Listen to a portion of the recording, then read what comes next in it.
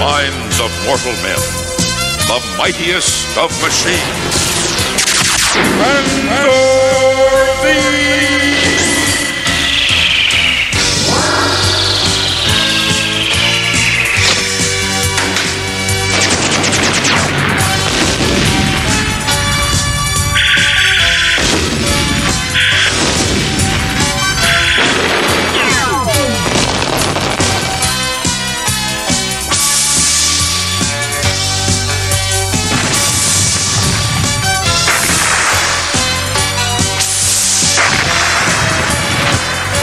The might to fight for right.